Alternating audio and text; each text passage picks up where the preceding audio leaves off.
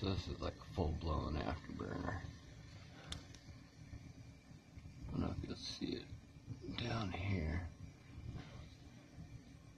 Can't see my finger in here. There it is. There's like the primary flame like it's dancing around down by the intakes down here.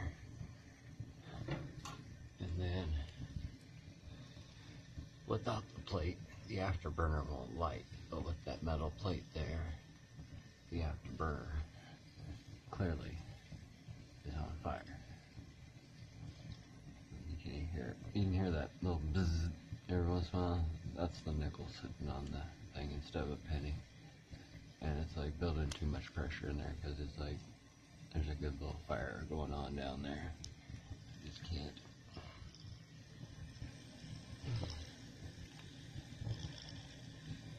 There's a little bit, there's a little bit, you can see it there too. Boom.